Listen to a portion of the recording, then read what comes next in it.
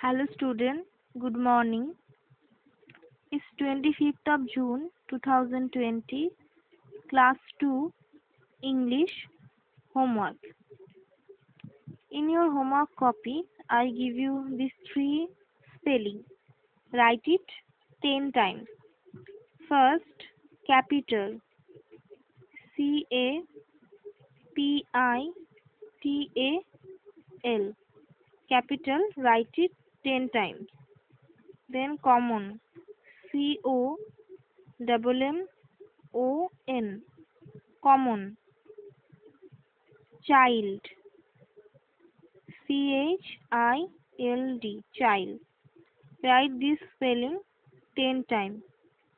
Capital, common and child.